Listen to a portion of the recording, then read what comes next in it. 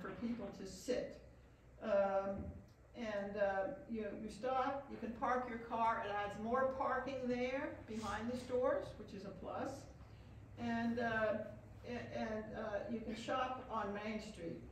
Um, It's more beautiful parking like that, more beautiful parking like that would discourage, would, would, en- would encourage more diverse shops to come to Chatham's Main Street.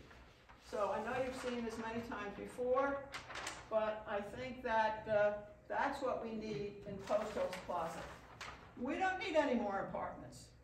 And a few years ago, I took a friend of mine down to One East Main Street. One East Main Street used to be all offices, and there's a big sign on it now, for lease. I took my friend down there, and he had built three affordable houses on Summit Avenue in Chatham.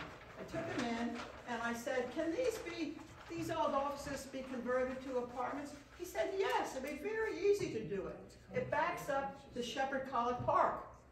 So just think about this.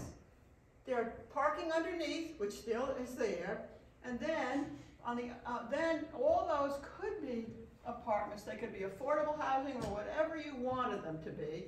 And then, when you walk out on the, on the back, there, there, where there's parking on the second floor, you don't have to have parking there. That's where people could have nice tables, where they eat outside, and then uh, stairs could be bought, uh, built so that they could walk in Shepard Kollock Park, one of the most beautiful parks that is in Chatham.